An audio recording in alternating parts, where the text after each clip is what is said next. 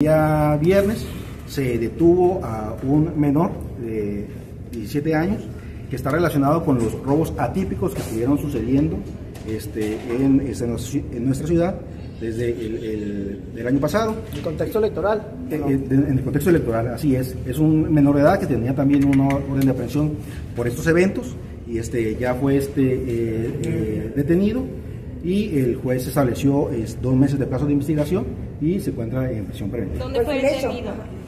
Él fue detenido derivado de un operativo en el oriente este, de la ciudad. Al momento de verificar este su nombre, se trata de una persona relacionada con estos hechos. ¿Cuántos robos? el móvil o por qué estaban haciendo eso? ¿Cuál era el...? Sí, eh, eh, eh, sí está identificado en, este, en uno de los robos atípicos que sucedió en, en un supermercado. De hecho, la identificación se da a raíz de que el menor ingresa este, a dicho negocio y este, tenía unos tatuajes en el cuello y en los brazos. Conforme se da la investigación, se trata de la misma persona y por eso es detenido.